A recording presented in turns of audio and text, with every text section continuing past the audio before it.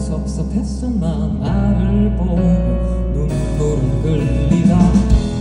두 손 잡고 고개를 끄덕여 달라 하기에 그렇게 하기 싫어서 나도